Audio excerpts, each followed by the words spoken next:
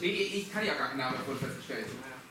Also meine schlechten sind ja gut, ne? Also Ja, genau. okay, das war jetzt sehr schlecht, aber. Ja, das ist vielleicht Aber es war kein Wort. das war ja schon semantisch jetzt kein Wort. Ja, ja. Ja. Okay, also liebe Leute, wir kommen zum zweiten Teil vom Vortrag über düstere Ecken der Logik.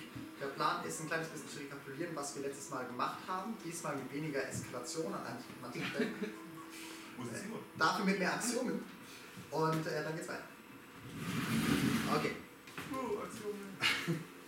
Also, wir haben letztes Mal Gödels Unvollständigkeitssatz thematisiert und bewiesen.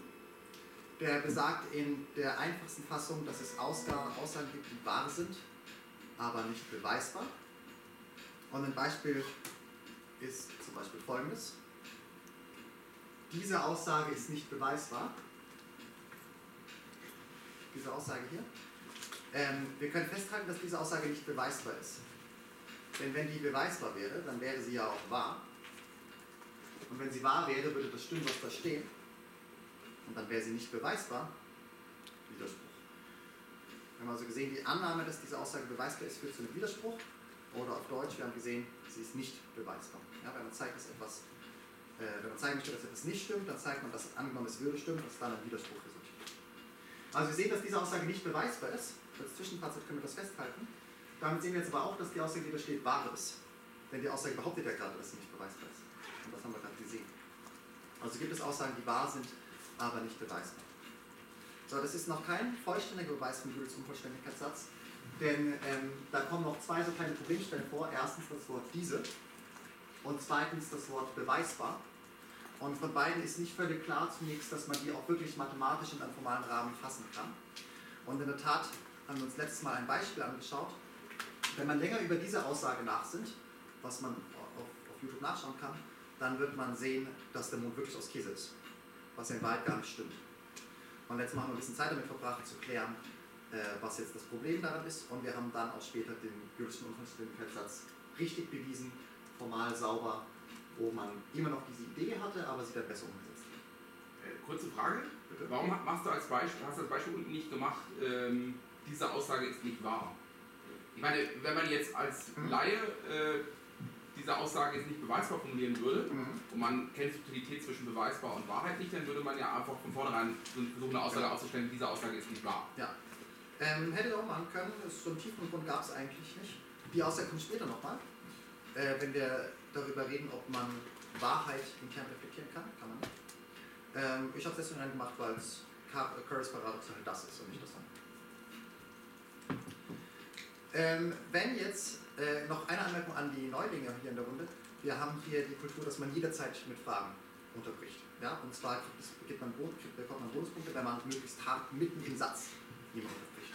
Und im Gegenzug ist- werden Punkte abgezogen, wenn man gute Fragen bis zum Ende des Vortrags aufspart. Und dann sagt du auf Folie 5 was. Ja?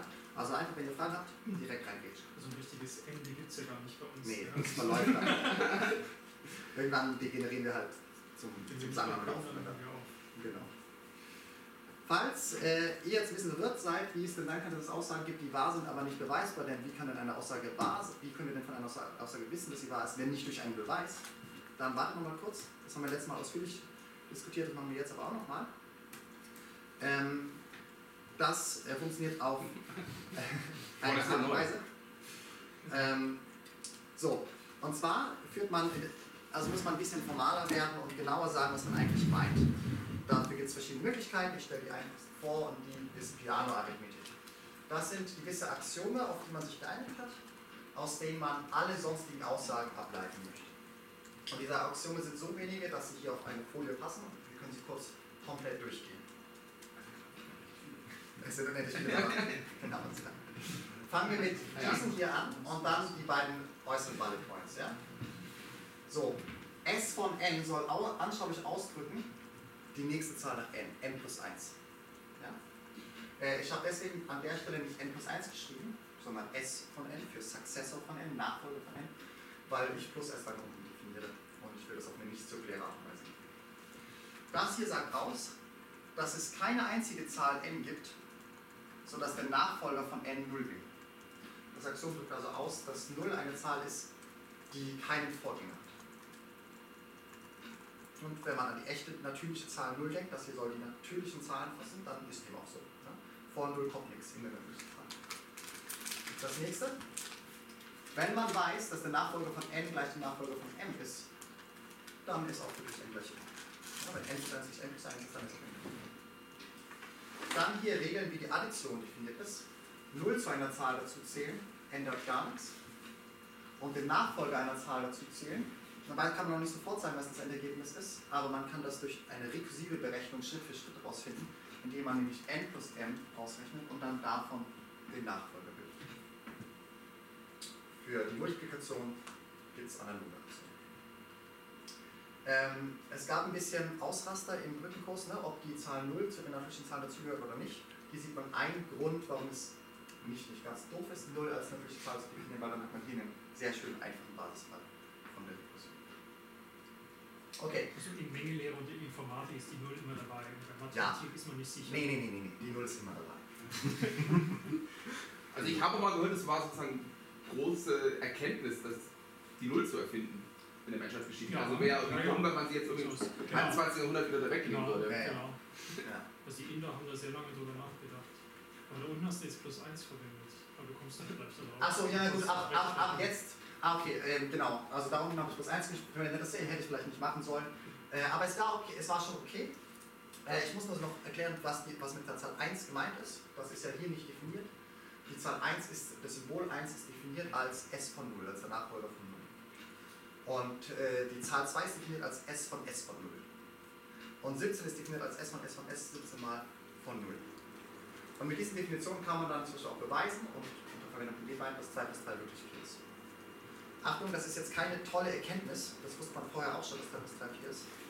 Was das aber zeigt, ist, dass dieses System zumindest so ausdrucksstark ist, dass man zumindest nur banale Wahrheiten wie 2 plus 2 gleich 4 beweisen kann. So, zwei äh, Punkte gibt es hier noch außen. Zum einen gehören noch dazu, zu diesem System, die üblichen Schlussregeln von Logik erster Ordnung. So, diese üblichen Schlussregeln sagen zum, äh, besagen zum Beispiel folgendes. Wenn Aussage A stimmt und wenn zudem eine Aussage B stimmt, dann stimmt auch A. Das ein anderes Axiom, was hier noch versteckt ist, ist, für jede Aussage A gilt, A stimmt oder nicht A stimmt. A stimmt oder A ist falsch. Ja? Darum gibt es eine Liste, so circa 10 Stück, die sind hier noch dabei. Und- Die klassischen Schlussregeln, ja, genau. Ähm, tatsächlich aber haben Matthias und ich eine sprachliche Konstruktion. Ja, ich wundere mich gerade, dass du sie nicht einsetzt. Und zwar immer, wenn Matthias nicht Piano-Arithmetik sagen, meinen wir Hating-Arithmetik. Das wäre genau dasselbe wie Piano-Arithmetik, genau dieselben Axiome, nur dass man nicht ganz die üblichen Schlussregeln nimmt, sondern bessere, nämlich die, wo man das Prinzip vom ausgeschlossenen Dritten, welches eben gesagt dass die Aussage stimmt oder nicht stimmt, fallen lässt. Das ist ein bisschen komisch, wir können im Sangern darüber diskutieren, warum es geil ist. Ähm, unterm Strich wird die Theorie dann allgemeiner und ich kann sie in weiteren Situationen anwenden. Da aber Hating-Arithmetik recht unschwer ist zum Aussprechen, ist haben Matthias uns darauf geeinigt, dass wir immer Piano-Arithmetik sagen, aber Hating-Arithmetik meinen. Okay, für den Vortrag ist das jetzt aufgehoben, ne? Für den Vortrag kannst du selbst überlegen, was du Also wir haben machst. beim letzten Mal zwei Stunden über diese nicht existenten Folge gesprochen, haben wir noch eine Minute Zeit. Ja, Also ich würde Piano-Arithmetik die beiden ersten Axiome der Induktion, sozusagen diese Axiomatisierung würde ich Piano-Arithmetik nennen. Ja. Und relativ zu was ist dann offen. Dann sagst du halt, ich fange an Ja, mit erster klassischer Genau. First-Order-Logik oder ich fange an Richtig. mit äh, intuitionistischer oder ich fange an mit Higher-Order-Logic. Ja, genau. Äh, und diese Plus und Mal sind ja reine Definitionen. Äh, Ja. Dann kriegst du natürlich in der reinen First oder Theorie Schwierigkeiten, das ordentlich, also das kann man auch machen, Ja. aber es ist ein bisschen Handelsarbeit. Ja. Also die haben einen anderen Charakter. Dann hätte ich das Plus hätte ich jetzt da weggelassen, hätte S. Ja. Ähm, Äh, Also das, das kannst du auf jeden Fall machen. Genau. Moment, kann ich sie wirklich eliminieren? Äh, Das ist genau der in, in der, in der äh, Logik erster Ordnung? also Weil ich meine, äh, wir haben ja an den Nicht-Standardmodellen gesehen, Ja. Dass, äh, dass wir sozusagen die nicht komplett zurückführen können auf das, auf das initiale Segment. Genau, also du, du fängst dich auch diese vier Axiome auch weglassen kannst. Genau, also wir können glaube ich nicht plus normal äh, komplett eliminieren formal, ne? Genau, also es hängt davon ab, was du erreichen willst. Das, äh, Natürlich. Du kannst es schon Immer weglassen. wieder was passiert. Aber Nee, nee, genau, aber du ich, kriegst dann ein wollte System, das wirklich schwächer ist als Piano. genau. Äh, du sagst, die Theorie musst du die Ja. drin haben. Ja, du könntest erwidern und sagen, Moment mal, das ist eine primitiv rekursive Funktion. Und das ist doch nur eine Definition, damit ich darüber sprechen kann. Das ist schon richtig, aber in dem Lemma ähm, welches besagt, dass man jede primitivrekursive Funktion in Piano nicht darstellen kann, geht wesentlich ein, dass man schon Plus und Mal zur Verfügung hat. Wenn man die also weglassen würde, dann hätte man diese Grundbausteine nicht mehr und dann funktioniert das nicht mehr. Das heißt, wenn ich jetzt einen Schlaumeier käme und sage, warum füge die Potenzfunktion noch hinzu, Ja, dann könnte man antworten, Moment, aber mit Plus und Mal reicht aus, die Richtig. Potenzfunktion genau. und Ist nicht völlig trivial, aber kann man machen. Ja. Mhm. Genau. Aber Plus und Mal braucht man. Und auch noch eine High-Level-Erklärung, die ich also mir immer so merke, also das, äh, die erste Axiomzeile da, also äh, das ist also die Nicht-Surjektivität des S. Also S ist eine nicht-surjektive Funktion. Ja, Und die zweite Zeile ist, es ist injektiv. richtig. Also haben wir eine Injektion, die keine Surjektion ist. Richtig. Und es charakterisiert einen unendlichen Bereich. Ja. Der kann aber sehr groß sein. Und das Induktionsaxiom schlägt dann fest, dass wir nur den meinen, den wir da im Sinn haben, den wir Genau. induktiv erreichen können. Wobei das wieder mit dem A, dem schematischen A hier, ich meine, der ganze Vortrag wäre einstampfbar, wenn man das jetzt. Äh, Ja. Aber das, also wir haben einen unendlichen Bereich, den wir induktiv abschließen und dann fangen wir an. Und dann machen wir Plus und Mal und dann machen wir den Rest, den wir jetzt erzählt haben. Genau. Induktionsaxiom habt ihr heute kennengelernt. Gut. War eine schöne Übung, oder? Ähm, so, und was bedeutet jetzt Beweisbarkeit und was bedeutet Wahrheit? Also eine Aussage heißt, A heißt beweisbar, wenn es in, ausgehend von dem, genau den Aktionen, die wir gerade eben gesehen haben, einen Beweis von A gibt. Eine Format, ein, ein Textstück, ein endliches Textstück, was nur diese Axiome verwendet, die wir gerade eben gesehen haben, und zum Schluss in der Konklusion resultiert, dass wir A verwendet. Dann heißt eine Aussage beweisbar. Okay, und dem gegenübergestellt heißt eine Aussage wahr, wenn im Standardmodell gilt. Im Standardmodell ist gemeint, also das schreibt dann so, das müsst ihr euch auch merken, die beiden Symbole, kommen immer wieder vor. Und damit ist gemeint, für die ganz normalen natürlichen Zahlen, die, die wir irgendwie im Kopf haben, also die Menge 0, 1, 2, 3, 4 und so weiter, dort stimmt es. Okay, und die wichtigsten Aussagen dazu sind jetzt folgende. Erstens, jede Aussage, die einen Beweis besitzt, ist auch wahr. Das liegt einfach daran, weil all die Axiome, die eben noch sichtbar waren, die stimmen in dem Standardmodell, in das wir denken. Und wenn die einzelnen Axiome stimmen und die einzelnen Schlussregeln auch stimmen, mit denen man von bereits bewiesenen Aussagen zu neuen Aussagen kommen kann, na, dann stimmen auch alle Schlussfolgerungen, die man darüber. Aber umgekehrt, nicht alle wahren Aussagen sind beweisbar. Nur dass eine Aussage wahr ist, heißt nicht unbedingt, dass sie beweisbar ist. Denn es gibt solche Aussagen, die zwar in manchen Modellen von Peano-Arithmetik gilt, aber nicht in allen. Ein Modell von Peano-Arithmetik, das ist eine Struktur, wie der echte natürliche Zahnstrahl oder auch dieser ganz komische Zahnstrahl, welche alle Axiome von Peano-Arithmetik erfüllt. Man hat so ein bisschen gehofft, als man die Axiome erstmal aufschrieb, dass nur die echten natürlichen Zahlen die Axiome auch erfüllen, aber es hat sich dann später herausgestellt, dass es andere Strukturen auch gibt, die das auch erstellen, nämlich die sogenannten, nämlich die sogenannten Nicht-Standardmodelle. Das sieht so aus, man hat einen ganz normalen Zahnstrahl, der bei 0 anfängt, der kommt 1, 2, 3, 4 und so weiter. Aber irgendwann später kommt eine Zahl C. C ist mehr als 100, C ist mehr als 10.000, C ist mehr als jede normale Zahl, die wir kennen. Und dann entfaltet sich der Zahnstrahl noch ein bisschen weiter, denn es ist ja so, dass jede Zahl einen Nachfolger hat, S von C, also muss es dann auch plus 1 geben. Außerdem kann man mit Induktion zeigen, dass nur die einzige Zahl ist, die keinen ähm, Vorgänger hat. C ist jetzt aber nicht 0, also muss es einen Vorgänger geben. Das heißt, hier breitet sich quasi der Zahnstrahl auch aus. Und wenn man noch mehr Hirnschmalz reinsteckt, findet man dann nach und nach auch noch all die anderen Zahlen, die auch in so einem Nicht-Standard-Modell drin existieren müssen. Und äh, es gibt den sogenannten Böhlischen Vollständigkeitssatz, der sagt, wenn eine Aussage A nicht nur im Standardmodell stimmt, sondern auch für die komischen Zahnstrahlen auch, dann gibt es auch einen Beweis davon. Aber nur, dass eben eine Aussage im Standardmodell gilt, heißt nicht unbedingt, dass es einen formalen Beweis gibt.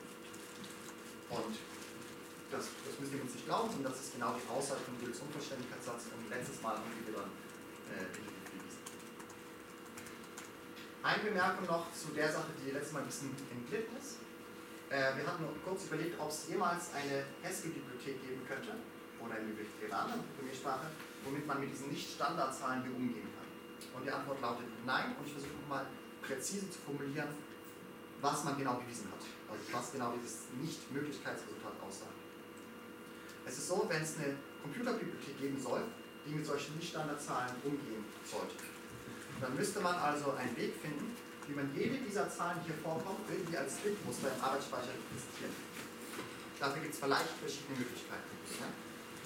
Und die Aussage ist, egal welche Möglichkeit man sich ausdenkt, um solche komischen langen Zahlen als Bitmuster im Arbeitsspeicher ähm, zu notieren, man wird nicht in der Lage sein, Addition und Multiplikation zu implementieren. Gewiesenermaßen gibt es, egal wie man, wie man die Kodierung wählt, keine Möglichkeit, Plus und Mal zu Deswegen wird es niemals Programmierbibliotheken dafür geben, damit umzugehen. Die einzige Möglichkeit, darüber nachzudenken, ist also den Bestand zu verwenden, Mathematik zu kommen. Aber es wird niemals ein Computerprogramm geben, was in voller Allgemeinheit mit solchen sehr, sehr langen Zahlen strahlen kann. Dazu erklären, warum die Brüche oder Zähler auch drin sein müssen. Ähm, ja, also, ähm, C ist gerade oder ungerade. Du kannst mich beweisen, dass jede Zahl gerade ungerade ist. So, also es gilt in den, den Zahlen. So, ähm, OPA ist es gerade. Angenommen, und weil es gerade ist, ist dann sie halbe. Sollte C sich als ungerade herausstellen, äh, dann gehe ich eins weiter, nenne das wieder C und dann male ich meine Skizze neu. So kommt die Existenz von C halbe zustande. Okay, und ähm, die Existenz von 3 halbe C kommt zustande dadurch, weil ich ja weiß, es gibt die Zahl C, es gibt die Zahl C halbe, ich kann sie zusammenzählen und das Ergebnis nenne ich 3 halbe C. Und dann genauso. Hier vorne sind noch Stühle frei. Wenn du dich hier zusetzen willst. Okay. Ich weiß nicht genau, weiß nicht genau, was du vorhast, aber wenn du vorne voll willst, dann musst du diese beiden Sachen liefern. Ja? Eine Aussage ist genau dann beweisbar, wenn es einen formalen Beweis gibt, der zu Schluss dieser Aussage resultiert, und sie ist wahr, wenn sie für den Standardzahlen steht. Gut. So, jetzt können wir ein paar Sachen überspringen. Wir haben, äh, wir machen nur noch das und dann sind wir fertig. Dann kommt das im zweiten Teil. Äh, wir haben letztes Mal noch genau äh, überlegt, wie man Gödel's Unvollständigkeitssatz präzise beweisen kann und die Hauptzutat dafür war diese Sache. Okay, also es gibt eine Aussageform, provable von n, sodass für jede Aussage a genau dann provable von a wahr ist, wenn a beweisbar ist. Was bedeuten die einzelnen Begriffe, die da vorkommen? Zunächst gibt es hier komische Hütchen. Es ist so, man kann alle Aussagen, über die man sprechen könnte, zum Beispiel die chemische Formel oder was auch immer, äh, der, solchen Aussagen kann man auch Zahlen zuweisen. Das ist dann die sogenannte Gödel-Nummer. Äh, man kann sich das so vorstellen, dass man einfach eine lange Liste macht von allen möglichen Aussagen. Zuerst ganz banal gesprochen, so wie LibreOffice Calc die Spalten durchnummeriert, ja? also erst A bis Z, das wären die ersten 26 Aussagen, dann AA, AB, AC bis AZ, das sind nächsten 26, dann und so weiter, genau. Ähm, so hat man eine lange Liste und jetzt von allen Aussagen auf der Welt, das ist eine ganz lange Liste. Und immer wenn man eine Aussage hat, kann man nachschauen, auf welcher Position sie in der Liste steht und das ist dann die sogenannte Gödel. Man hat dieses Gadget erfunden, denn Piano-Arithmetik kann nur über natürliche Zahlen sprechen. Und wenn wir jetzt auch über Aussagen oder andere kompliziertere Dinge sprechen wollen, müssen wir sie kodieren. Das machen wir, sie, machen wir über diese Art und Weise als Zahlen. Okay. Aussageform, das bedeutet einfach, das ist jetzt irgendeine aussagenlogische Formel, also irgendwas, wo Existenzkantoren drin, Universalkantoren, Vollgrundsymbole, alles Mögliche. Und dann aber noch einen Platz haben, wo man ein n einsetzen könnte. So, und ein Resultat, was man sich klar machen muss, das gar nicht so leicht zu zeigen ist, ist, es gibt eben irgendeine sehr ausgeklügelte Formel, die auch sehr viel Platz einnehmen würde, wenn man sie ausschreiben würde, sodass für jede Aussage folgendes stimmt. Dann und nur dann ist A beweisbar, also dann und nur dann gibt es einen Beweis von der Aussage, wenn folgendes stimmt, wenn folgendes wahr ist, wenn man in diese komplizierte lange Formel Provable von n für n genau die Gödelnummer von A setzt. Äh, das ist ein ganz wichtiges Resultat. Der Slogan dazu ist die Arithmetisierung von Syntax. Ja, weil man äh, weil man es möglich macht, nur mit Hilfe von natürlichen Zahlen über Syntax zu sprechen, über formale Beweise. Gut. Und jetzt die dritte. Diese Stimmung, habt ihr Fragen?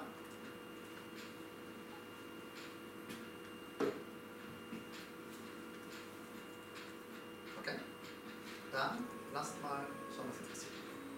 Also wir haben eben gesehen, es gibt Aussagen, die wahr sind, aber nicht beweisbar. Es gibt Aussagen, die im Standardmodell stimmen, aber trotzdem keinen formalen Beweis nur aus dem Peano-Axiom erlauben.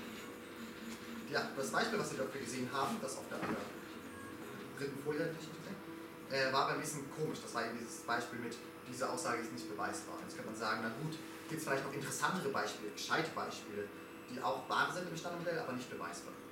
Und davon gibt es einige. Eines habe ich euch mitgebracht. Die bekommt man über die sogenannten Gutsteinschen. Ähm, so eine Gutsteinschen Folge fängt immer mit irgendeiner Zahl an, zum Beispiel 35, und dann macht man folgendes. Man schreibt die 35 nicht im Zehner-System, das wäre ja 3 mal 10 und 1 plus 5, 3 Zehner und 5, und 5 Einser, sondern im Binärsystem. Es gibt dann diese Darstellung. Und jetzt macht man das aber nicht nur einmal, sondern die Exponenten, die jetzt noch vorkommen, die vielleicht große Zahlen sind, mehr oder weniger, mindestens zwei, die tut man auch nochmal im Binärsystem schreiben. Und jetzt kommen da vielleicht auch wieder Exponenten vor, die schreibt man auch nochmal im Binärsystem. Immer so weiter. Wenn man damit durch ist, ersetzt man dann alle vorkommenden Zweier durch 3. Dann kommt eine neue riesige Zahl raus und dann zieht man 1 ab. Wenn man das gemacht hat, das ist dann die nächste Zahl in Folge, also die Folge springt rasant von 35 hierhin. Dann entwickelt man das in Hereditary-Based 3. Also so wieder baumartig, ne? alle, alle Sachen ersetzen, dass nur 3 vorkommen als, als Basissachen. Dann ersetzt man alle vorkommenden 3 durch 4, kommt eine riesige Zahl raus, dann zieht man 1 ab. Und das macht man weiter mit äh, Basis 5, Basis 6, Basis 7 und so. Wenn man das wirklich mal programmiert im Computer zum Beispiel, sieht man, dass diese Folgen wahnsinnig rasant ansteigen. Man hat hier schon den großen Anstieg gesehen und so weitermacht, kommen unglaublich. Jetzt gibt es aber trotzdem einen Fun Fact, nämlich egal mit welcher Zahl man am Anfang angefangen hat, zum Schluss kommt immer 0 raus. Schlussendlich ist das Ergebnis immer 0. So, und das ist noch nicht der Fun Fact. Der Fun Fact ist das, was drunter steht, nämlich Piano-Arithmetik ist nicht stark genug, um zu beweisen, dass das immer so ist. Piano-Arithmetik kann nicht beweisen, dass egal mit welcher Zahl man anfängt, dass schlussendlich, wenn man dieses Muster befolgt, Man kann es in stärkeren Systemen beweisen, zum Beispiel Zermühle von Mengenlehre mit Ausgrenzung, aber man kann es nicht im Piano. Was Piano-Arithmetik schon beweisen kann, ist für jede einzelne Startzahl, dass dann die Folge aufhören wird. Also Piano-Arithmetik kann beweisen, dass wenn man mit der 35 startet, dass dann schlussendlich nur rauskommt. Piano-Arithmetik kann auch beweisen, dass wenn man mit der 12.000 anfängt, dass zum Schluss nur rauskommt. Aber Piano-Arithmetik kann nicht beweisen, dass für alle n die Aussage stimmt, dass wenn man mit n anfängt, dass zum. Also das Problem ist das C von vorhin, ja? Äh, in dem C, C. Nee.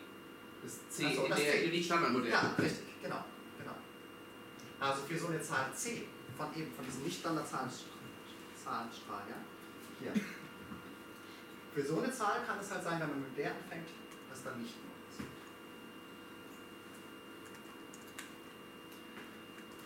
Also, ähm, ich muss gestehen, ich kenne leider nicht auswendig weiß, wie man einsehen kann, dass ähm, PA nicht beweisen kann, dass, äh, dass da immer nur rauskommt. Aber ich kann zumindest ganz grob die Skizze geben für die Leute von euch, die ein bisschen Ahnung von Hydras haben, äh, warum hier tatsächlich immer 0 rauskommt. Ähm, und zwar, wenn man ein bisschen Ahnung von Ordinalzahlen hat, das ist eine Zahl, die größer als jede echte Zahl ist, ähm, äh, dann kann man das ja gleich machen, nämlich die BSD. Man hat hier also so eine Folge von Zahlen, die recht groß sind. Und man schätzt die ab durch eine Folge von unendlich großen Zahlen, von Ordinalzahlen. Und zwar durch eine Folge von Ordinalzahlen, die in jedem Schritt strikt fällt. Und man weiß, beziehungsweise es ist ein Axiom, dass es keine Folge von Ordinalzahlen gibt, die strikt fällt und immer weitergehen würde, die unendlich lange strikt fallen würde. Das zeigt dann, äh, das zeigt dann dieses Resultat. Und wie findet man jetzt eine Folge von Ordinalzahlen, die diese Folge majorisiert? Das ist ganz einfach. Man, äh, man erstattet zum Beispiel mit 35 und dann setzt man alle zwei durch Omega aus. Und ähm, wenn man dann Omega wieder durch Omega ersetzt, passiert gar nichts. Das heißt, nur die hinterste Zahl, nur das Minus 1 wirkt sich aus. Und so kriegt man, also ganz grob gesprochen, eine durch Ordinalzahl. Okay, also das ist ein Beispiel für eine wahre Aussage, die nicht beweisbar ist. Ob sie wirklich wahr sind, wir wissen davon ab, wie sehr ihr stärkeren Axiomsystemen der Mathematik vertraut. Ja, also der Beweis, der da drin ist, der braucht ja diese Ordinalzahlen. Ähm, wenn ihr jetzt sagt, ich glaube gar nicht, dass, die Ordin dass es Ordinalzahlen gibt, oder ich glaube nicht, dass die so funktionieren, wie es brauchte für den Beweis, dann wisst ihr nicht genau, was wirklich mit diesen Folgen passiert. Aber wenn ihr das akzeptiert, und die allermeisten Mathematikerinnen und Mathematiker machen das, dann wisst ihr, dass diese Folgen wirklich immer bei Null rauskommen. Aber ihr wisst auch, ist eine starke Moment, aber äh, zum Beweis gerade, also wenn jetzt, nehmen wir jetzt bei der nächsten Zahl, ja, bei dieser Ja. Zahl, die gerade ist, ja, Ja. dann habe ich. Achso, nee, da kriege ich trotzdem noch plus irgendwas. Aber was passiert, wenn ich jetzt, wenn ich jetzt mit meiner Lebensordinalzahl ende und ich will dann 1 abziehen? Ähm, du landest. Ähm, ah ja, genau, muss ich. Genau. Also das ist doch ein entscheidender Punkt. Irgendwie, Ja, ja. Beweis. Ja, muss ich nochmal nachschauen. Ähm, also all die Zahlen auf jeden Fall, die vorkommen, sind Zahlen, die kleiner als Epsilon 0 sind. Ne? Das sind nur so endliche Ausdrücke von Omega und Ja, ja, Mensch, noch Genau. Aber ja, guter Punkt bei dir. Das eine relativ langweilige Ordinalzahl. Ja, ja, für, eine, halt- für die gestandene Mengentheoretiker sind die Ordinalzahlen gar nichts, die man dafür braucht, das zu beweisen. Es ist, glaube ich, sogar ein konstruktiver Informatiker in Beweis. Die anderen meisten schon, ja. ja. Okay. Wenn ihr jetzt sagt, okay, das finde ich schlecht, dass es wahre Aussagen gibt, die nicht beweisbar sind, habe ich eine gute Sache, Meldung für euch, es gibt eine gewisse Immunität gegen diese Gülschen Unvollständigkeitsphänomene. Es gibt eine, eine gewisse Klasse an Aussagen, äh, da kann es nicht passieren, dass die wahr sind, aber nicht beweisbar. Bei dieser Klasse von Aussagen ist es so, dass immer wenn die wahr sind, dass sie dann auch einen formalen Beweis besitzen. Und damit sind das alle Aussagen, die ausschließlich aus diesen Bestandteilen zusammengesetzt sind und wo diese drei Sachen nicht in voller Allgemeinheit verwendet werden können. Also das sind Aussagen, die man über Gleichheit sprechen kann, indem es man über und sprechen darf, über oder, über Existenzquantifikation und beschränkte Quantifikation. Das ist nicht, wenn man sagt, für alle natürlichen Zahlen gelten, soll gelten, bla bla, sondern für alle natürlichen Zahlen, die kleiner als so kleiner gleich wie so und so viel sind, soll gelten. Aber das ist T jetzt eine. T ist ein Kern in dem Kontext von den Variablen, die hier eventuell vorher noch vorkommen. Ah, also genau, das ist also keine, keine externe natürliche Zahl, sondern. Nein, äh, genau, darf schon intern sein. Genau. Ja. Ähm, was ist der, der Grund, warum solche Aussagen, wenn sie wahr sind, auch beweisbar sind? Also auf den ersten Blick klingt es vielleicht toll, dass was ein ganz starkes Resultat ist, dass man jetzt aus Wahrheit Beweisbarkeit folgen kann. Dem ist aber nicht so, denn solche Aussagen, wenn man sich mal genau anschaut, äh, das sind im Wesentlichen irgendwie endliche Aussagen. Also sowas wie S gleich T, das kann ich sofort einfach nachprüfen. Ja? Ich rechne halt S aus, ich rechne T aus, schaue, ob die gleich sind oder nicht. Ähm, und sowas hier, ja, für alle n kleiner gleich so und so viel soll das und jenes gelten. Na, dann gehe ich halt alle natürlichen Zahlen ra- durch, die kleiner gleich wie so und so viel sind und check, ob das gilt. Ja, also daher ist das nicht zu sehr beeindruckend. Aber trotzdem ganz, ganz schön zu wissen. Und in der Topps-Theorie heißen im Wesentlichen Aussagen, die von dieser Form sind, auch geometrische Aussagen. Was nicht zu viel mit irgendwie Geometrie zu tun hat. Also nicht irgendwie im Sinne von Kreisen oder Ellipsen, sondern es gibt einen anderen tieferen Grund, warum das geometrische Aussagen ist. Okay. Jetzt Fragen dazu?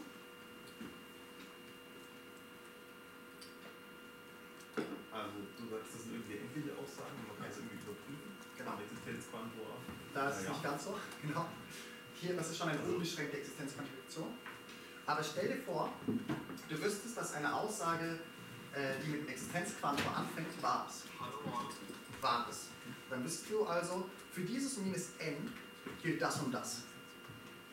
Okay. Wenn du, nach, wenn du weißt, dass es dafür einen Beweis gibt, dann weißt du auch, dass es für die Instant-Reduktion, dann über die Struktur der Formel, dann weißt du auch, dass es für die zusammengesetzte Aussage einen Beweis gibt. Nämlich, du hast ja das n, du hast auch diesen Zeugen. Und dafür hast du einen Beweis. Du musst schon äh, Vertrauen in deine Metalogik an der Stelle haben. Ne? Mhm. Ja.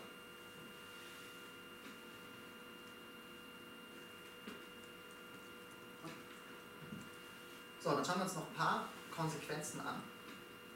Und ähm, dann kommen wir zu einem Teil, der eher mit Informatik. Das war ein Kasten, den wir vorhin schon gesehen haben. Wir haben angemerkt, dass, es, dass man zeigen kann, dass es eine gewisse Aussageform von n gibt. Mit der Eigenschaft, dass wenn man in die die Nummer steckt, die zu einer Aussage A gehört, dass das dann bedeutet, dass es einen Beweis von A gibt, einen formalen Beweis von A. Und jetzt kann man sich fragen, einfach in Analogie, gibt es denn sowas ähnliches auch? Nur dass hier unten rechts dann nicht steht, dass A einen Beweis besitzt, sondern dass A stimmt im Standardmodell. Kurz kann man Sätze wie diese Aussage ist nicht wahr, kann man die formalisieren, kann ich die ausdrücken nur unter Verwendung von natürlichen Zahlen. Sätze, die das Wort beweisbar enthielten, äh, die konnte man ausdrücken mit Hilfe natürlicher Zahlen dank dieses Resultats hier. Und jetzt fragen wir uns, haben wir auch dieses noch? Antwort ist, das geht nicht. Von Marc am Anfang schon gespoilert, warum es nicht gehen kann. Es ist so, es gibt einen Trick, den wir beim letzten Mal ausführlich diskutiert haben, aber jetzt nicht, mit der man so eine Selbstreferenzialität, äh, diese Aussage ist nicht wahr, mit dem man den immer wegschaffen kann, mit dem man immer erreichen kann, dass, das, äh, dass man da eine Aussage findet, die eben genau auf diese Art und Weise auf, auf sich selbst Bezug. Das ist diese Diagonalnennung. Und das sagt also aus, dass es eine Aussage A gibt, sodass hier und da muss, da muss ein Strich sein, sodass PA beweist, dass A äquivalent ist zu der Negation der Wahrheit von der Gödel-Nummer von A. Anschaulich drückt diese Aussage A aus, dass Aussage A nicht wahr ist. Okay, also wir können diese Aussage A kreieren, wenn es so ein Prädikat True von n gäbe. So gibt es aber nicht, weil dann könnten wir diese Aussage A kreieren und äh, dann können wir kurz innehalten und über die Aussage nachdenken und dann würden wir doch folgendes sehen. Die Aussage A ist genau dann wahr, wenn das stimmt, was hier steht, als wenn sie nicht wahr ist. Das ist ein Widerspruch. Eine Aussage kann nicht wahr und nicht wahr zugleich sein. Die einzige Annahme, die wir diesen Beweis gemacht haben, war die, dass es diese Aussage formuliert. Diese Annahme muss also falsch gewesen sein. Wir sehen, in diesem formalen Kalkül ist es nicht möglich, über Wahrheit zu sprechen. Nur über Beweisbarkeit. Nicht über Wahrheit.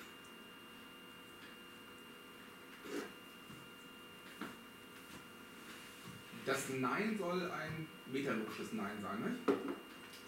Ähm, ja, ein methodologisches Nein. Genau, dann fehlt dann noch das, äh, äh, natürlich die, die Voraussetzung, wenn per Arithmetik widerspruchsfrei ist. Ähm, jein. Äh, hier, so wie ich den Beweis präsentiert habe, fehlt sogar eine viel stärkere Voraussetzung, nämlich Voraussetzung, dass Piano mit dem Modell. Weil ich habe hier dann auch über Wahrheit gesprochen. Also stimmt, wir haben unser Ende ja sozusagen, genau, genau, ja. Mhm. Genau. Ähm, vielleicht an der Stelle nochmal ähm, eine kleine Bemerkung. Ähm, es gibt Leute, extrem wenige, aber ich finde, es ist trotzdem ein interessanter Standpunkt. Es gibt Leute, die sind sogenannte Ultrafinitisten. Ähm, die sind sich nicht ganz sicher, dass es Zahlen wie 2 hoch 1 Milliarde gibt. Kann schon sein, wenn jemand von, zu ihnen, wenn, jemand zu ihnen gehen würde und so lange zählen würde, 1, 2, 3, 4 bis da eine Milliarde rauskäme, dann würden sie glauben, dass es da noch eine Milliarde gibt. Aber sofern das bisschen macht, wissen sie das nicht genau. Sie, sie sind ambivalent. Ja? Und äh, diese Leute akzeptieren insbesondere nicht, dass das Induktionsaxiom in voller Allgemeinheit gilt.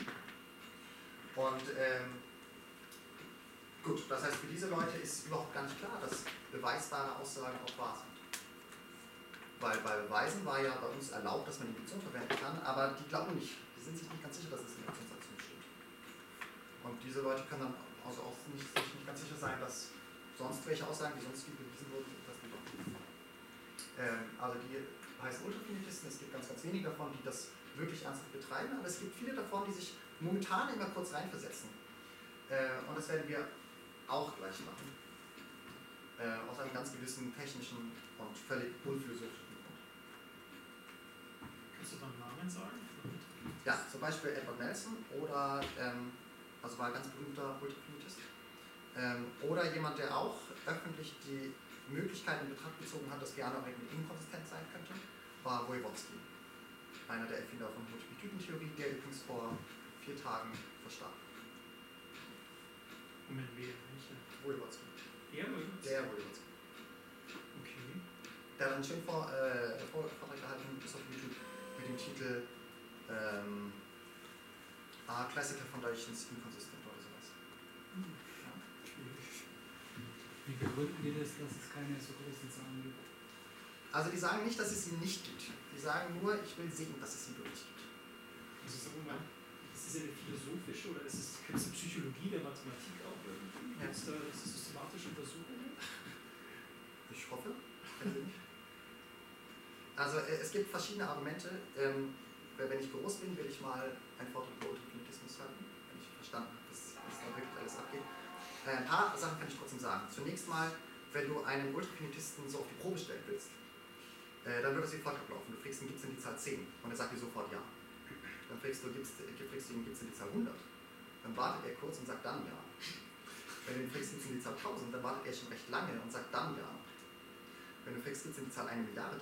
Dann würde er sehr, sehr lange warten, weil er Kopf quasi schaut, gibt es die Zahl 1 Milliarde? Lass mal testen. 1, 2, 3, 4. Oh ja, 1 Milliarde, ja. Aber irgendwann entgeht dir die Lust. Und dann kriegst du nicht mehr. Ja? So gehst du also das Problem quasi, dass, dass es irgendwie eine definitive Schranke gibt. Der Ultrafinitist glaubt auch durchaus, dass zu jeder natürlichen Zahl, die ihm präsentiert wurde, dass es eine Nachfolgerzahl gibt. Ja? Das heißt, wenn du ihm die Zahl eine Milliarde wirklich präsentierst, dann glaubt er auch, dass es eine Milliarde eins gibt. Aber bevor du ihm nicht 200.000 wirklich präsentierst, glaubt er nicht, dass es auch 200.000 plus 1 gibt. Oder ist sich dem zumindest nicht sicher. Wenn er dann glaubt, dass es eine Milliarde und eins gibt, Ja. dann muss er auch gleich automatisch glauben, dass es eine Milliarde und zwei gibt. Ja, das ist richtig. Muss er ja auch glauben, dass es ja doch unendlich viele Zahlen Ja, ja, ja, du hättest jetzt weiterreden können, Schritt für Schritt. Und so ein Ultrafinitist hätte immer zugestimmt. Ja. Aber wenn du jetzt gleich 20.000 Zahlen übersprungen hättest wollen, ja, dann das wäre nicht okay gewesen für einen Ultrafinitisten. Du hättest Schritt für Schritt sagen müssen, okay, du glaubst also auch an eine Milliarde und drei, ja, du glaubst also auch an eine Milliarde und vier, ja, und so weiter, ja. Und das hätte sich in die Länge gezogen, du hättest keine drauf. So, also Mathematik ist ja ein theologisches System Ja. oder ein mythologisches System und dann äh, spielt man da so rum und wie weit kommen wir mit welchen Genau. Grundvoraussetzungen. Genau. Und das hat ja mit dem wirklichen Leben und dem Universum an sich zunächst mal nichts zu tun. Genau. Da könnte man lange drüber philosophieren, über Ja. diese, äh, was Existenz überhaupt heißt. Ja, gute Frage. Ja. Ja. Ein kleiner Aspekt davon, nämlich Gödels zweiten Unvollständigkeitssatz, wollen wir gleich noch betrachten. Und dann kommt Ich weiß nicht, ob es hilft zum Verstehen für, für, für diese Ultrafinitisten oder nicht, aber ähm, wenn, wenn wir sagen, etwas gibt es oder etwas gibt es nicht, ja, dann, dann, dann gab es das entweder schon immer und wird es immer geben oder es gab es noch nie. Also so, wenn, so würden wir über Mathematik reden, ja. Ähm, wenn man, man könnte aber auch interpretieren, ähm, okay, das gibt es jetzt schon als das gibt's. Also wenn ich sage 1000 gibt's, dann habe ich also irgendwie schon mal mir 1000 überlegt. Und wenn ich dann nachher diese Idee mache, ähm, okay, wenn es 1000 gibt, gibt es auch 1001 und wenn es n gibt, gibt es auch n plus 1, dann habe ich immer zum nächsten Zeitpunkt, wird, meine, äh, wird der Bereich der Zahlen, den ich umgehen darf, ein bisschen größer. Aber zu jedem Zeitpunkt habe ich immer nur endlich viele Zahlen. Also so könnte man, also das ist dann eher nicht Standard Interpretation. äh, von, ähm, aber zumindest, ist- Da versteht man dann ein bisschen besser, worum es geht. ja genau, also Du äh, explorierst ein endliches Präfix von etwas, was ein Platonist sagen würde, das oder nicht. Genau. Ja, genau, genau. Äh, aber das, ich meine, wir haben ja auch den Curry Club, also wenn ich in Haskell eine Lazy Listing schreibe, Ja. ähm, dann exploriere ich immer nur ein endliches Anfangsstück davon im Rechner. Ja. Und dann äh, ist es so ein bisschen so eine Frage, so einen kulturellen Hintergrund. Ist, ist das, existiert diese unendliche Liste wirklich oder nicht? Und ich bin platonistischer äh, Informatiker, ich sage selbstverständlich existiert unendliche Ja. Liste, existiert meine Vorstellung. Kann Ja. gedanklich, also wie, viel, wie weit kann ich mir ordinal den Strahl da vorstellen? äh, das ist so eine kulturelle Sache. Ja. Äh, und ein harter Informatiker würde vielleicht sagen, nee, nur das, was ich hier äh, durchgescrollt habe in den Terminal, das existiert. Ja. Das, Womit Ultrafinitisten übrigens kein Problem haben, ist das sogenannte beschränkte Induktionsaktion. Ähm, äh, das ist das nochmal ganz normale Induktionsaktion, aber nicht für alle beliebigen Aussageformen A von n, sondern nur solche, in denen alle vorkommenden Kantoren so eine Schranke haben. Ja? Also es ist eine Aussage der Form, es existiert ein m, so das bla bla, wenn nicht okay. Aber eine Aussage der Form, es existiert ein m, so kleiner gleich so und so viel, so das bla bla, das wäre okay. Und ähm, Genau, also wenn man nur das fordert, dann kann man zum Beispiel nicht zeigen, in dem entstehenden formalen System, dass die Exponentialfunktion eine totale Funktion ist. Man kann also nicht zeigen, dass es zu jeder Zahl n auch zwei Gruppen gibt. Das heißt nicht, dass man das widerlegen kann, das heißt nur, man kann es nicht zeigen. Okay. So. Äh, jetzt kommt noch zwei von den, die, die ich mich sehr freue. Also, wir haben vorhin gesehen, nochmal zusammenfassend, wenn man für G diese Aussage nimmt, Aussage G ist nicht beweisbar, dann folgt folgendes. Sollte PA konsistent sein, dann stimmt G. So, das Wort konsistent hatten wir vorher noch nicht offiziell. Eine Theorie oder Piano-Arithmetik heißt genau konsistent, wenn die offenkundig eigentlich falsche Formel 1 gleich 0 auch wirklich nicht beweisbar ist. Die allermeisten Mathematiker würden sagen, völlig klar, äh, dass PA konsistent ist. Ähm, weil wir, die meisten Mathematiker Mathematiker glauben ja, dass alles stimmt, was Piano-Arithmetik beweist. Wenn Piano-Arithmetik jetzt beweisen würde, dass 1 gleich 0 wäre, dann würde auch wirklich 1 gleich 0 sein, aber 1 ist ja nicht 0. Das ist ein einfaches Modell, ein einfaches Argument dafür, dass Piano-Arithmetik konsistent ist. Sofern man glaubt, dass es etwas gibt, was natürliche Zahlen heißt und dass das wirklich all die Axiome von Piano-Arithmetik Also weil die 1 als S von 0 definiert hast vorher. Das könnte ja eine andere 1 sein. Das ist sozusagen nur, es hängt von der Definition von 1 ab und du hast vorhin die 1 Äh, genau, ja. Also ich muss eine Vorstellung in meinem Kopf haben von natürlichen Zahlen, sodass ich darin die Piano-Axiome interpretieren kann. So dass ich sagen kann, okay, in meinem Zahnstrahl, den ich mir gerade denke, ist die sogenannte Null von Piano-Arithmetik das. Die sogenannte S-Funktion von Piano-Arithmetik ist die, die wirklich auf meinem Zahnstrahl ein Zeile nach rechts geht. Und jetzt checke ich nach und nach die Axiome ab und muss jetzt sehen, dass die stimmen für meine Vorstellung von dem Zahnstrahl. Ein Ultrafinitist hat nicht diese Vorstellung von einem beliebigen langen Zahnstrahl, sondern der, der zerfasert irgendwie. Und deswegen ist sich der nicht sicher, ob Piano oder Arithmetik konsistent ist oder nicht.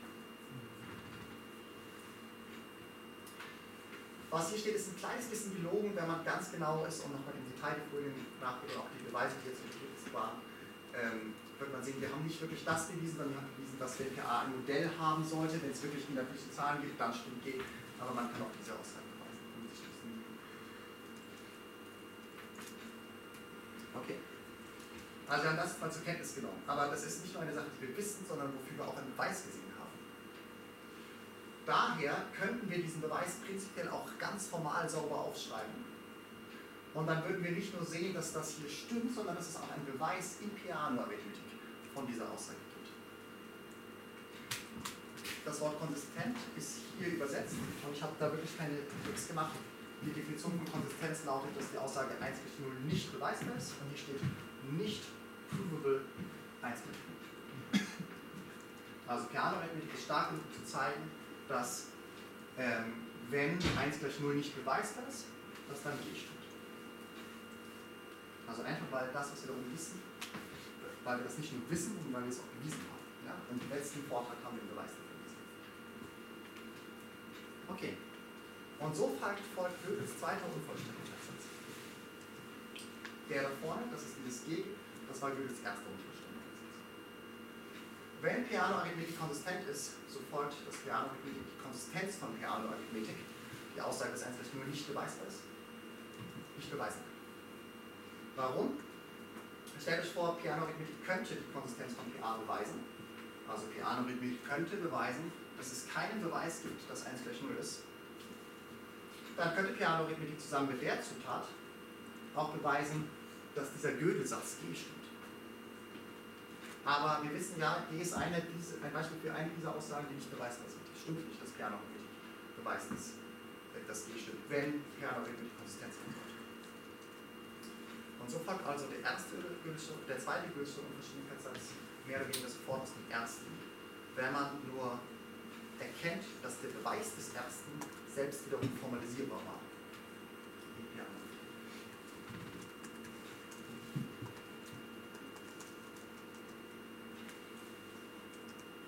Okay. Und die Freunde von Inception von euch kann man das Ganze noch eine Stufe weitermachen. Das, was wir gerade eben gesehen haben, das wissen wir ja nicht nur, sondern wir haben auch einen Beweis davon gesehen. Deswegen können wir den auch wieder internalisieren und schauen, was passiert. Also wir führen jetzt eine übliche Abkürzung ein, nämlich CON für consistent. Das ist eine Abkürzung dafür, dass 1 bis 0 nicht beweisbar ist. So, was wir eben gesehen haben, war eine der beiden Richtungen, die hier behauptet wird. Die andere Richtung ganz, kann sich schnell überlegen. Genau dann ist Piano-Arithmetik Konsistenz, wenn Piano-Arithmetik die Konsistenz von Piano-Arithmetik nicht beweisen kann. Gut, wir könnten den Beweis, der dazu steckt, der also eben präsentiert wurde, auch formalisieren. Und so würden wir sehen, dass Piano-Arithmetik beweisen kann, dass die Aussage der Konsistenz von Piano-Arithmetik äquivalent ist zur Unbeweisbarkeit der Konsistenz.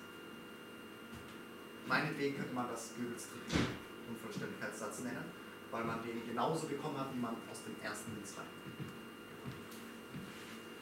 Ähm, was das hier zum Beispiel zeigt, das, äh, ist, dass es noch eine zweite interessante Aussage gibt, nicht nur diesen selbstreferenziellen Satz G, der sagt, dass er selbst nicht beweisbar ist, sondern es gibt noch einen neuen Satz, der seine eigene Unbeweisbarkeit ausdrückt, nämlich genau die Aussage, dass PA nur arithmetik konsistent ist.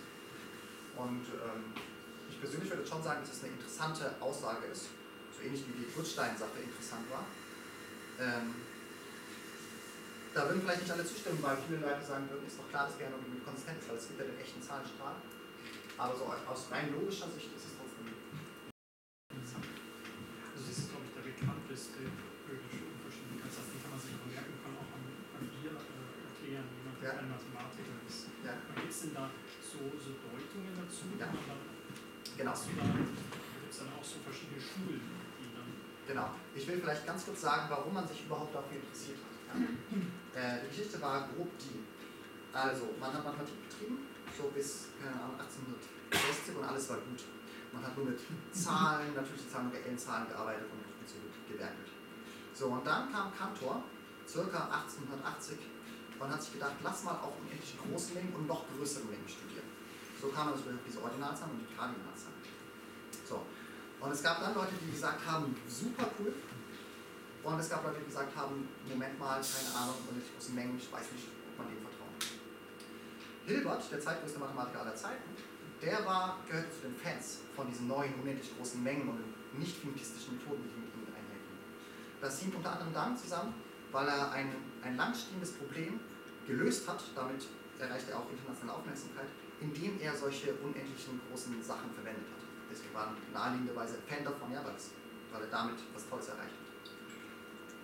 Er hat aber durchaus die Seite der, der Zweifler verstanden und er hat daher Hilberts Programm vorgeschlagen, nämlich zu versuchen zu beweisen, dass alles, was man mit den coolen neuen nicht-finitistischen Methoden beweisen kann, dass man das auch mit finitistisch zulässigen Methoden ohne Verwendung von Unendlichkeiten beweisen kann. Und ähm, was dann leider rauskam, war, Gödel hat es gezeigt und Gödel war selbst nicht, nicht froh darüber. Was dann leider rauskam, ist, dass Gödels, äh, das Hilberts Programm in voller Allgemeinheit zum Scheitern verurteilt ist. Ähm, das hängt, äh, kann man sich grob wie folgt überlegen. Also ein formales System, was auch diese unendlich großen Mengen und so weiter enthält, ist Zermelo-Frenkel-Mengenlehre, ZF. ZF ist nochmal viel stärker als Piano-Arithmetik. Alles, was Piano-Arithmetik beweist, beweist Zermelo-Frenkel sowieso schon. Ja. Es gibt viele Sachen, die Zermelo-Frenkel beweisen kann, was PA nicht beweisen kann. Zum Beispiel diese Sache mit dem Gutzsteinfolge. Gut.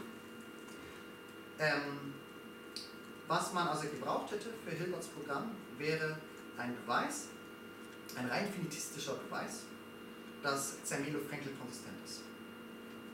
Ja, dass man dort nicht auf Widersprüche schließen kann. Ähm, das kann man noch ein bisschen genauer begründen, warum dem so ist. Ähm, genau will ich es nur im Sagen sonst sagen, aber grob ist die Sache die, ähm, man kann folgendes zeigen in erster Näherung. Ähm, wenn man eine Aussage hat, zumindest in der Aussage selbst nicht unendlich große Mengen und andere coole neue Dinge erwähnt, sondern wenn die Aussage allein nur über natürliche Zahlen spricht, dann stimmt folgendes. Sollte man, einen Beweis von, äh, sollte man in der Lage sein, einen Beweis von dieser nur über Zahlen sprechenden Aussage führen können in einer coolen, krassen Theorie, welche auch unendlich große Mengen erlaubt, und sollte diese Theorie konsistent sein, dann stimmt auch wirklich diese Aussage über diesen.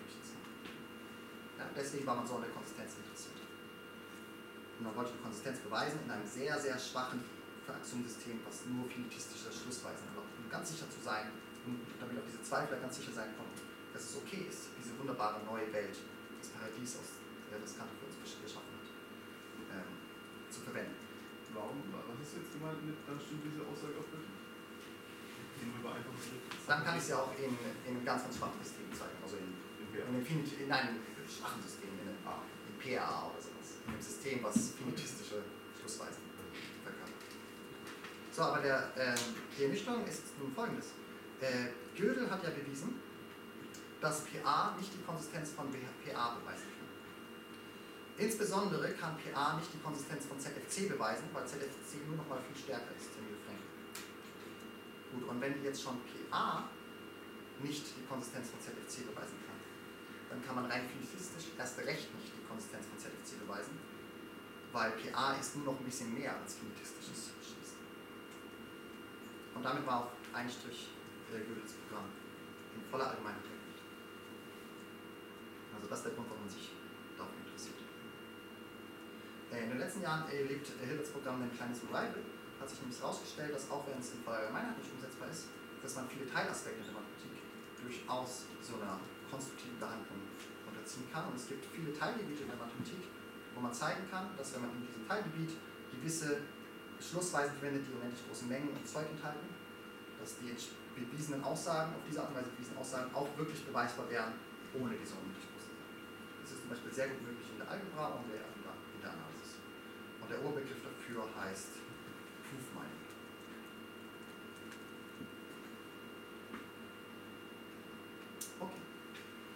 Falls ihr euch dafür noch mehr interessiert, empfehle ich euch ein paar Übungsaufgaben. Das ist eine Sprossenaufgabe, die ihr machen müsst, um die beiden Aufgaben zu zeigen. Äh, hier in Aufgabe 2 geht es um eine Aussage, die ihre eigene Beweisbarkeit ausdrückt, anstatt ihre eigene Unbeweisbarkeit. Man kann sich fragen, stimmt dann eigentlich diese Aussage, ja oder nein? Man kann zeigen, ja, diese Aussage H ist tatsächlich beweisbar. Ähm, und die untere Sache ist auch noch ganz witzig. Äh, es gibt Beispiele für Aussagen, die schon sind, die auch beweisbar sind, die also einen Beweis haben, aber wo der kürzeste Beweis eine enorme Länge hat.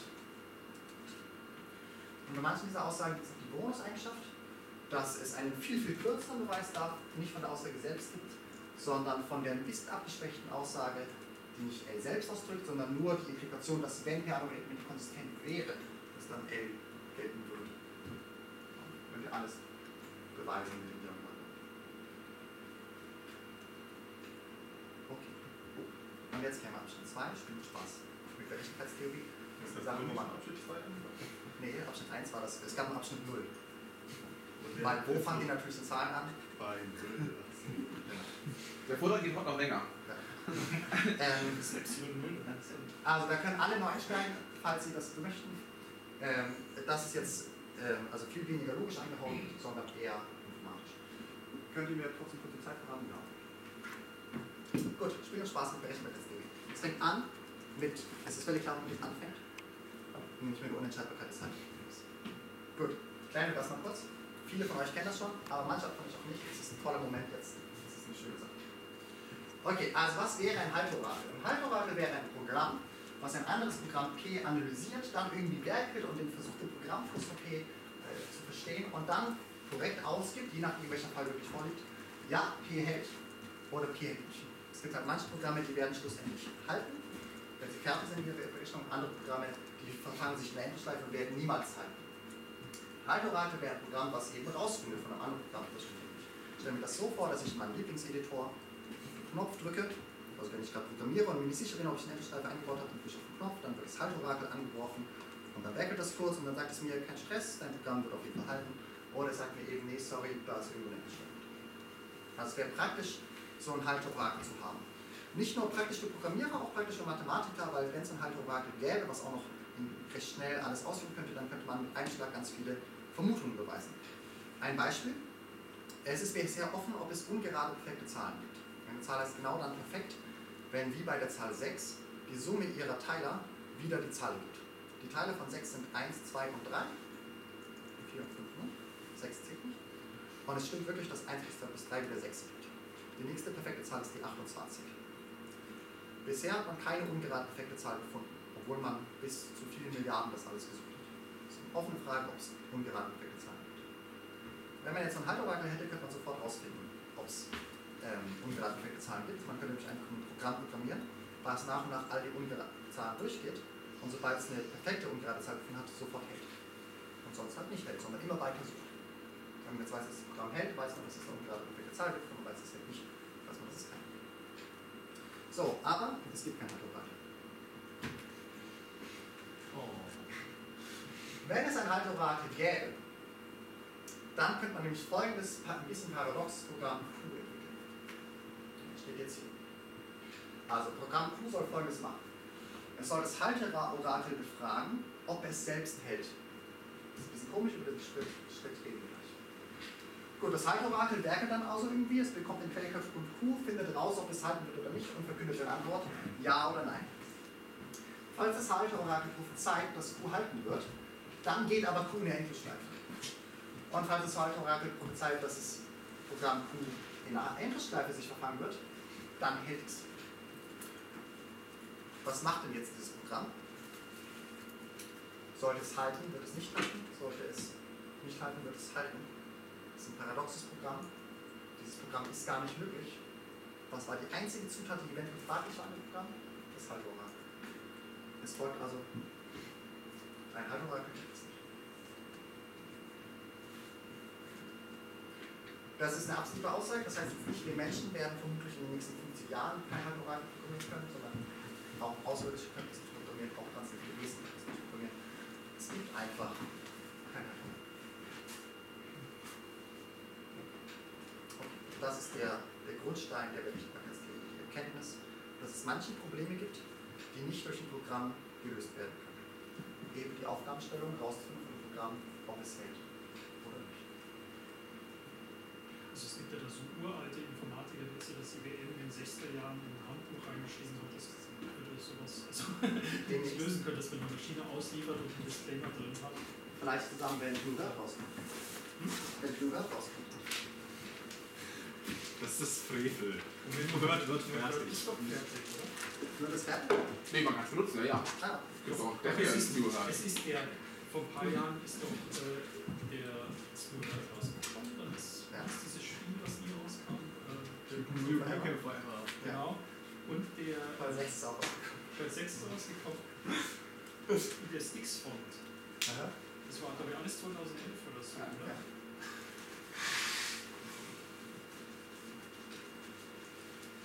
Nächste Sache. Ich möchte euch die Haltewahrscheinlichkeit. genau sagen, wie man das wegkriegt, dass das Bruder. Ach so, ah, sorry, ja genau, das ist ganz nice. Also man könnte hier noch denken, dass ich hier ein bisschen gecheatet habe, denn wie kann denn das Programm irgendwie sich selbst analysieren? Ähm, aber das geht halt schon und solche Programme heißen Quines. Also ein Quine ist ein Programm, was in der Lage ist, seinen eigenen Quellcode auszugeben. Wir können mal kurz schauen, wie es nicht funktioniert. Ähm, wie kriege ich die Schrift größer mit Schriftgröße? Man kann es auch noch lesen, oder? Also dann, Ich glaube, du musst rumklicken und Da wird sie groß. ja, Aber sie fängt zwei Links an. Ja, das ist Ah. ein Problem. Ja, okay. das ist- Jetzt nicht. So, also eine Möglichkeit, ein Programm zu programmieren, welches sein eigenes Quellcode ausgibt, wäre so, ich lasse hier noch kurz frei und jetzt mache ich hier Print Source. Ja? Ich muss das aber noch einfüllen, was da oben steht. Das soll seinen eigenen Quellcode ausgeben, also schreibe ich hier hin, my Dollar $source ist gleich und dann irgendwie muss ich das kopieren und so weiter. Aber ihr merkt schon, was das Problem ist, nämlich ähm, diese Pünktchen, da werde ich nie fertig. Ja? Also auf diese Art und Weise kann ich kein Quine programmieren. Aber es gibt ein Resultat aus der theoretischen Informatik, dass in jeder Programmiersprache, die Turing-vollständig ist, also jede, die wirklich in der Prinzip verwendet wird, dass es durchaus möglich ist, ein Quine programmieren, zu programmieren. Und in Hess, in äh, sähe das zum Beispiel so aus. Und jetzt muss ich hier diese Einfügung entfernen. Ja. Und jetzt kann ich das ausführen. Ich zeige euch das Programm mal an. Und wenn ich das ausführe, wird es, aha, sorry, bis auf das EOF, ähm, was ich jetzt vergessen habe, äh, nochmal genau wieder sein Quellcode ausgeben. Äh, es macht sehr viel Spaß, sich zu überlegen in seiner Lieblingsprogrammiersprache, wie man so ein, ups, so ein Quine erzeugt. Ähm, irgendwo muss man immer eine Variable, die man hatte, zweimal verwenden. Das ist allen Quines gemeinsam und das passiert hier mit diesem Kreuz 2 Operator, der einen String nimmt und ihn zweimal hintereinander setzt. Ja, obwohl er nur einmal im Programm steht. Überlegt euch das mal, wie das geht, macht Spaß und damit kann man dann auf jeden Fall diesen Aspekt, diese Selbstdifferenzialität noch auflösen. Ähm, anstatt halt, dass ich irgendwie den Quellcode von Q in einer Variable einfach direkt reinspeichere, wie ich das gerade eben naiv habe, das wird nicht funktionieren, kann ich das auch cleverer machen und insgesamt auf ein Programm kommen, was Zugriff auf seinen eigenen Quellcode, Quellcode hat und dann eben diesen Quellcode den, den Haltorakel übernehmen. Ja, aber ich kann die Datei doch einfach öffnen, der programmiert ist für diesen Fall. Das, also, ich meine, das kann man machen, wenn du das erlaubst. Genau. Aber eine Turing-Maschine kann das halt nicht. Genau, deswegen. Ja, aber selbst die könnte ja zunächst mal erstmal simulieren, ein, ein Betriebssystem mit Dateiverwaltung. und- Noch Fragen zum Haltorakel? Ich hoffe, das überhaupt genannt? Ich finde, das ist dann konkreter zum Besprechen. Prädikat, berechnen als Prädikat oder Oder eben ein kein berechenbares. kein berechnen als Prädikat. Ein Orakel ist es halt. Ja. Kann man fragen? Du würdest, ich kann das sagen. Ja. Orakel kann man. Ja. Es ist ein Terminus technicus, also Orakel kommt außerhalb des Systems dazu, die Genau. fragen. Genau, Und das beweist du dann, dass das nur ein Orakel sein kann. genau. Also du fängst eigentlich an, du weißt doch nicht, was das ist. Ja. Was äh, Informatiker zum Beispiel gerne dann machen, theoretische Informatiker ist, sie fragen sich, okay, also normale Computerprogramme können das halt oder halt nicht lösen. Aber was ist, wenn ich ihnen magischerweise die Fähigkeit äh, gebe, mit einem, diesen Haltorakel zu kommunizieren? Können sie dann alle Probleme lösen? Und dann kommt zum Beispiel raus, nein, es gibt neue Probleme, die auch diese aufgedeckten Computer nicht lösen können. Und dann stellt sich raus, es gibt eine ganze Hierarchie von interessanten Orakeln, die auch nicht einfach alle ein Stück besser sind, sondern auch unvergleichbar sind. Ähm, und da ist noch ganz, ganz wenig. Okay, lasst uns über die Haltwahrscheinlichkeit reden. Äh, zur Einstimmung habe ich einen kleinen Text mitgebracht, den ähm, Charles Bennett und der berühmte Wissenschaftsjournalist Martin Gardner über diese Zahl gesagt haben. Die Konstante Gamma Omega verkörpert eine enorme Menge an Wissen auf sehr kleinem Raum. Die ersten paar tausend Ziffern, die problemlos auf einem kleinen Stück Papier Platz finden könnten, enthalten die Antworten auf mehr mathematische Fragen, als man im gesamten Universum aufschreiben könnte. Im Laufe der Menschheitsgeschichte strebten Mystiker und Philosophen stets nach einem kompakten Schlüssel zu universeller Weisheit, einer endlichen Formel oder einem Text, der, wenn bekannt und verstanden, Antworten auf alle Fragen liefern würde. Man denke nur an die Versuche der Bibel, dem Koran oder dem Edin, Weissagungen zu entlocken. Solche Quellen universeller Weisheit sind herkömmlicherweise vor beiläufigem Zugriff geschützt, indem sie schwer zu finden, wenn Gruppen schwierig zu verstehen und gefährlich zu benutzen sind, dazu neigend, mehr und tiefere Fragen zu beantworten, als sich der Suchende wünschte. Das, Esoter das esoterische Buch ist, wie Gott, einfach und dennoch unbeschreibbar. Es ist allwissend, allwissend und verändert alle, die es kennen. Omega ist in vielerlei Hinsicht eine kabbalistische Zahl. Dem menschlichen Verstand ist sie bekannt, aber unkennbar. Um sie im Detail zu erfahren, müsste man ihre unberechenbare Ziffernfolge als Glaubensgrundsatz einfach hinnehmen, genau wie die Worte eines heiligen Texts. So, lasst uns schauen, was diese Zahl Omega ist. Okay, die Definition steht hier. Sie ist kryptisch aufgeschrieben. Was damit gemeint ist, ist folgendes. Man geht alle Programme durch, alle Computerprogramme in einer äh, festgelegten Programmiersprache, auf die man sich einmal einigen muss. Und für jedes, man geht aber nicht alle Programme durch, sondern nur die halbwegigen Programme, die Programme, sich nicht mehr eingeschaltet haben. Und für jedes dieser Programme addiert man 2 hoch minus die Länge des Quellcodes von Pi. 1 geteilt durch 2 hoch die Länge des Quellcodes. Das kann man auch diese Art und Weise umschreiben. Damit diese Formel überhaupt Sinn ergibt, damit bei dieser unendlichen Addition ein endlicher Wert rauskommt, muss man noch eine kleine Forderung an die Programmiersprache stellen. Nämlich die Programmiersprache muss die Eigenschaft haben, dass wenn man ein valides Programm dieser Programmiersprache nimmt und dann noch irgendein Zeichen Quelltext hinzufügt, dass es dann kein valides Programm mehr ist, dass es dann Syntaxfehler gibt. Die allermeisten normal verwendeten Programmiersprachen haben diese Eigenschaft nicht. Ich kann immer, wenn ich fertig war mit Programmieren, hinten am Ende der Datei noch mehr programmieren, dann wird es ein längeres Programm. Aber es sind programmierbare Sprachen vorstellbar, es gibt auch welche, es gibt so esoterische, die haben diese Eigenschaft, dass wenn man ein syntaktisch valides Programm noch um auch nur ein Buchstaben ergänzt oder auch um zwei oder drei oder vier, dann ist es nicht mehr syntaktisch korrekt. Und um solche hier geht es. Davon gibt es auch Turing-vollständige Sprachen, das heißt, das ist keine wesentliche Eigenschaft. Man kann einfach fordern, dass man ein Endezeichen an dem Ende des Das wäre ganz einfach. Dass auch ein Endezeichen vorkommen darf. Genau. EOF. EOF. Ja, genau. Äh, du meintest gerade jetzt alle Programme, die halten, Ja, nur die halben Programme sind hier bei mir. aber die kenne ich ja gar nicht. Ja, ja, genau, richtig. Äh, das, ist, äh, das ist ein Ich wichtiger Punkt, der gleich. gesagt, dass man die Zahl ausrechnet. Genau. Ich habe nur gesagt, ich kann diese Zahl hinschreiben. Genau, ich kann sie hier hinschreiben, ich habe sie jetzt fertig definiert, ich habe erklärt, welche Zahl es wirklich ist. In diesem Sinne gibt es die Zahl. Aber du hast ganz recht. Zumindest auf die Art und Weise, wie ich gerade versucht habe zu erklären, wie man sie berechnen könnte, kann ich sie nicht berechnen, weil ich ja nicht rausfinden kann, welche Programme halten und welche nicht halten. trotzdem, es ist eine ganz bestimmte Zahl, und zwar eine Zahl zwischen 0 und 1. Und sie heißt deswegen Haltewahrscheinlichkeit, weil, sie, weil man sie deuten kann als die Wahrscheinlichkeit, dass ein zufällig gezogenes Programm aus der Menge aller Programme halten wird, wenn es anlaufen lasse. Damit vereinbart man, dass nicht alle Programme gleich wahrscheinlich sind, also ich habe so eine Runde, wo alle Programme drin sind, sondern ein Programm wird umso unwahrscheinlicher gezogen, je länger sein Quelltext ist. Und zwar um genau den Faktor, wenn es ein Zeichen länger ist, wenn es doppelt so unwahrscheinlich ist, bis es Ziel. Okay. Interessant an Omega ist folgendes. Das macht es so toll. Das, das erklärt, warum die beiden Autoren äh, so große Fans sind von dieser Zahl Omega. Wenn die ersten n Nachkomma-Binärziffern von Omega bekannt wären, so ließe sich das Halteproblem für alle Programme der Länge klein gleich n lösen. Das hat folgende Bewandtnis. Stellt euch vor, ihr kennt die ersten n Nachkomma-Binärziffern von Omega und wollt jetzt also herausfinden, welche Programme der Länge klein gleich n halten und welche halten nicht. Und dann wollt ihr folgendes machen. Macht jetzt erstmal eine Liste von allen Programmen der Länge klein gleich n, das sind so und so viele. Und jetzt fangt ihr an, die alle parallel auszuführen. Ich stelle mir das so vor, dass man, äh, dass man zu jedem zweiten Zeitschritt, wo man sich erlaubt, was mit dem Programm zu machen, das erste Programm auf der Liste analysiert. Dann sind noch all die ungeraden Zeitschritte frei, noch bisher unverwendet. Davon jeder zweite Zeitschritt, da analysiert man Programm Nummer 2, da lässt man das ablaufen.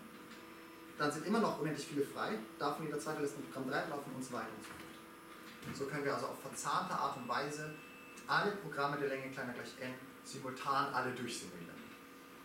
Und nach und nach werden immer mehr Programme von dieser langen Liste an Programmen, die wir alle durchsimulieren, und immer wenn ein so ein Halteereignis eingetreten ist, dann können wir mal zu unserer momentanen Zahl, die wir so im Kopf haben, in so einer Zählvariable, im Akkumulator, können wir 2 hoch minus die Länge von diesem Programm dazuziehen. Ähm, das setzt jetzt aber schon voraus, dass ähm, quasi leere Programme nicht halten, oder? Ähm, genau, also wenn das leere Programm syntaktisch korrekt wäre, dann wäre die Programmiersprache extrem langweilig.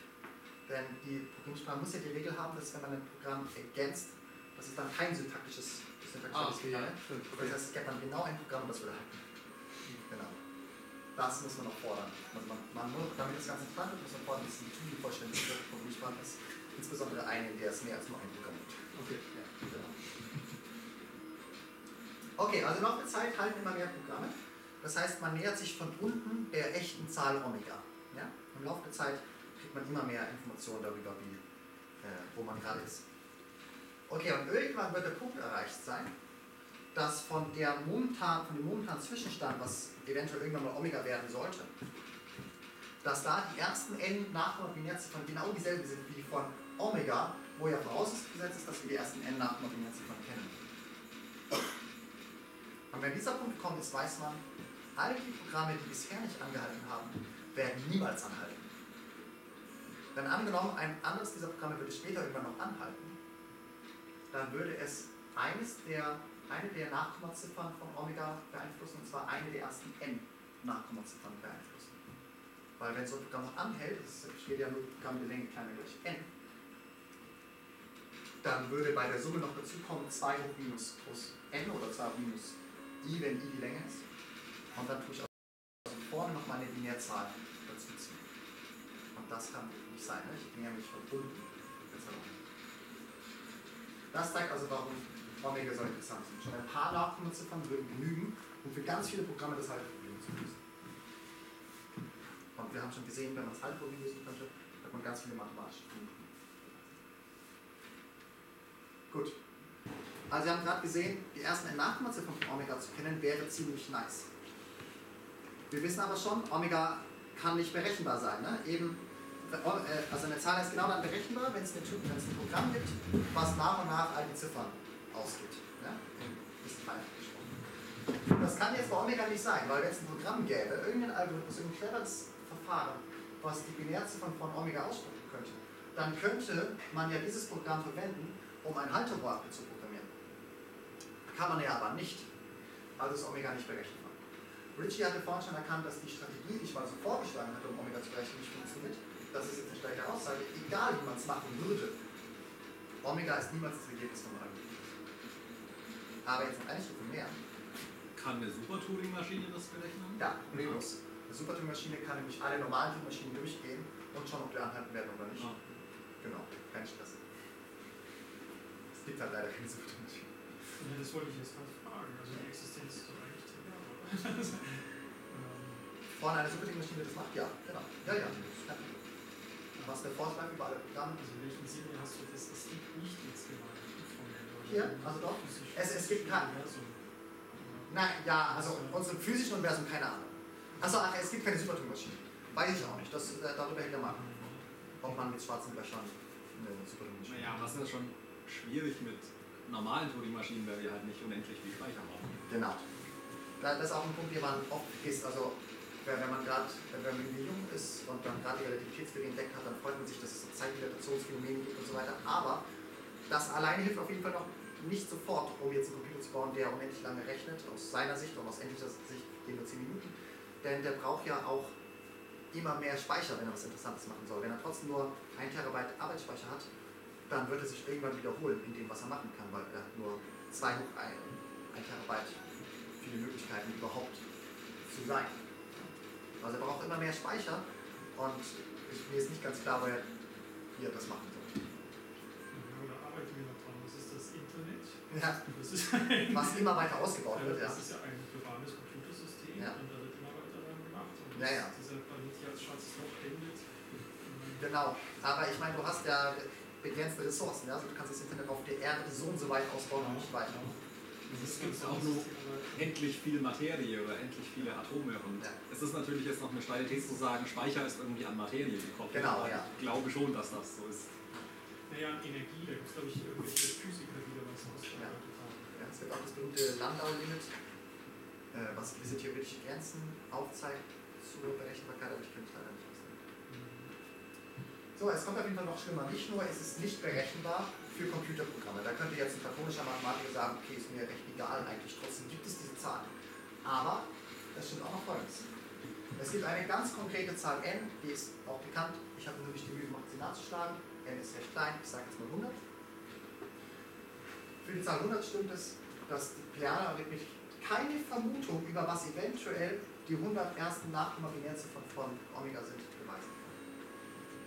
Also auch wenn man irgendwie auf mystische Art und Weise rausfinden würde, was die ersten 100 Nachkommaziffern von Omega sind, dann könnte Piano-Arithmetik das nicht beweisen. Also gewissermaßen ist Omega unkennbar. Ja? Nicht nur unberechenbar, das ist vielleicht nicht so schlimm, aber es ist auch unkennbar. Keine Vermutung über was die Ziffern wären, sein könnten, lässt sich in Piano beweisen. Wenn man jetzt sagt, okay, kein Stress, Piano ist sowieso ein sehr, sehr wenig mächtiges System, lass mal Zervilo Frankel Mengenlehre mit folgenden Bonusaktionen verwenden, dann geht aber wieder genau dieselbe Aussage, nur mit einer kleines bisschen höheren Zahl n. Und das ist das, was die beiden Autoren vorhin gesagt haben, mit dem Spruch, ähm, um Omega im Detail zu erfahren, müsste man ihre unberechenbare Zifferfolge als Glaubensgrundsatz einfach hinnehmen.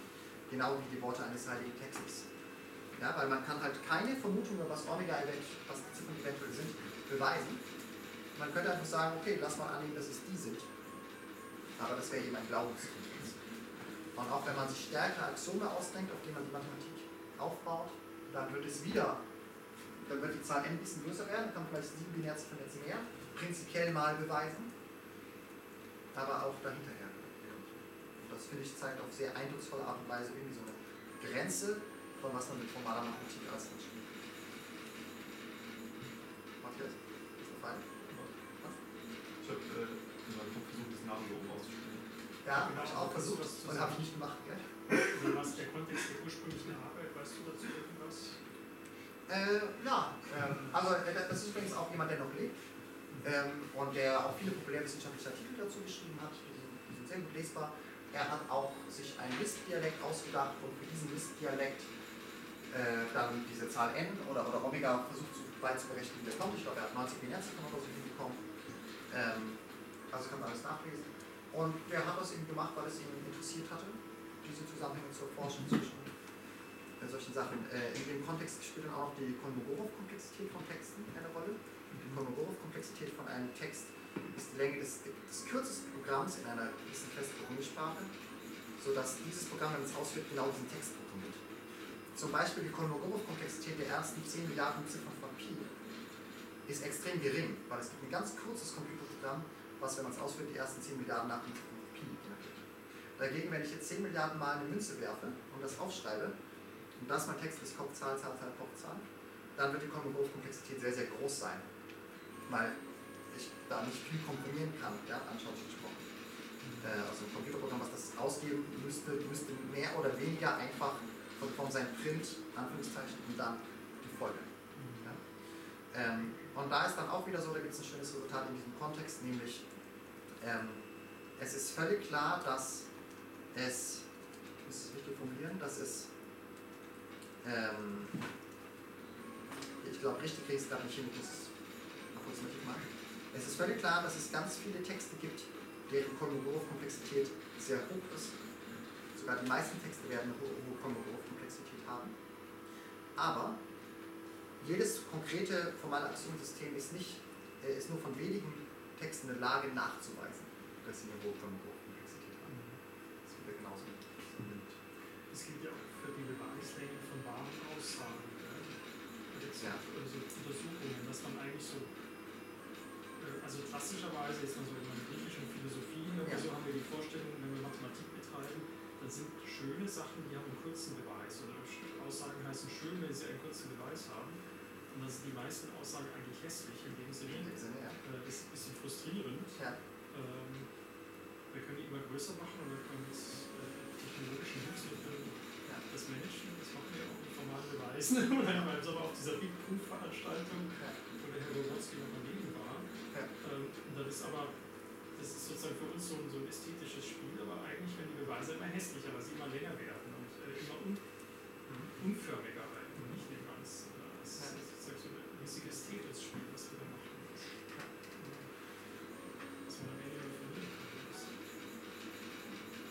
Aber ich spiele es trotzdem. Ja, die, die Frage ist eigentlich, wie, wie absolut ist der Begriff kurz? Also gibt es so etwas wie eine Churchill These für Programmiersprachen? Ja. Ähm, nämlich, äh, also, oder, oder von mir aus für formale Systeme, ja? Ist dasselbe. Ist so, hm? Ist dasselbe. Ja, ja. Also, äh, okay, also ich meine, es gibt sicherlich ähm, Beweise, die in der einen Programmiersprache kurz und in der anderen lang sind oder äh, Programme. Ja. Aber ähm, wahrscheinlich ist es doch so, dass ähm, fast alle, die in der einen kurz sind, sind auch in der anderen kurz und fast alle, die lang sind, in der anderen auch lang. Das habe ich jetzt nicht, nicht sauber formuliert. Ja. Genau, die Frage ist, gibt es sozusagen so eine, gibt's so eine Churchill-These dafür? Mhm. Was war einfach ein Grund, weil natürlich irgendwo diese, diese Programmiersprachen vorher formalisiert werden Ja. müssen. Genau. Und dann könnte man jetzt auch wirklich so etwas wie Zufall definieren, wenn diese These gilt. Genau. Also ich sage, eine Folge ist zufällig, wenn sie eine hohe Genau. Kolmogorov-Komplexität hat. Das ist auch wirklich eine Zufallsdefinition, die man dann findet. Ah, okay. Aber dazu muss man natürlich trotzdem erstmal wissen, dass es egal ist oder Genau. fast egal ist. Also Ja. Von, äh, also man kann von der Kolmogorov-Komplexität zeigen, dass sie bis auf Konstanten nicht abhängt von der Wahl des, der Programmiersprache. Äh, Also das war Abschätzung, meine ich. ja, ja, aber es muss ja komplizierter sein, weil ähm, also ich kann ja einfach sagen, okay, äh, wenn ich eine, eine bestimmte Zahl habe, äh, eine, eine bestimmte, einen bestimmten Text mit einer sehr hohen Komplexität, dann, okay, dann Man sage ich, könnte gerade der, könnte eine sehr kleine. ja, ja, genau, weil ich einfach sage, gib den Text aus. Genau. Ja. Das haben wir übrigens bei Perl 6 überlegt. Wir haben uns überlegt, äh, zu definieren, dass das leere Programm, das leere Perl 6 Programm, wenn man es ausführt, einfach Hallo Welt auf dem Bildschirm gibt. Wir hätten nämlich alle Hallo Welt Rekorde. Haben wir aber nicht gemacht. Man könnte ja auch dann irgendwelche spezifischen Spiels oder so, äh, Genau. was dann alle möglichen mit zwei Programme. Genau, klar. Könnte man noch. Deswegen muss man ein bisschen präziser formulieren. aber- Aber ich glaube, das längste Hallo-Weltprogramm ist wahrscheinlich nur Hello, oder? Ja, Ich meine, der Quelltext hat, glaube ich, wahrscheinlich so 200 Kilobyte oder so. Ja. okay, ja, dann. äh, aber es ist dann vermutlich nicht das viel Schwerste. Es gibt irgendeine esoterische Programmiersprache, da ist es im Wesentlichen so, dass jeder Befehl auch den, das gesamte, den gesamten Quellpunkt verändert. Und da hat es Mal lang, Folge, oder? kann sein, und da hat es lang gedauert, bis man ein Ich Programm glaube, gefunden das war sogar eine Doktorarbeit, also PhD-Thesis Okay. in Japan. Das war eine Sprache. das sollte man eigentlich Abstract, wir zeigen ein Programm, der Das wird Subway beruhigt, also solange es noch solche Doktorarbeiten gibt, ist die Welt noch in Ordnung. Ja. Dass wir nicht nur hier sinnvolle Sachen machen, sondern auch interessante Sachen. Ich danke Rainer für die für, zur Verfügungstellung des Laptops und euch für eure Aufmerksamkeit. Danke sehr.